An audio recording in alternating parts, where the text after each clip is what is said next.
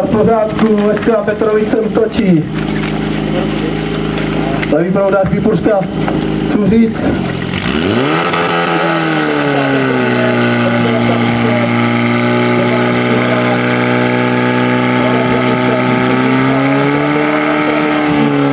Takže tomu říkáme kvalitní čas, nalevo 18.29, napravo potom 18.56.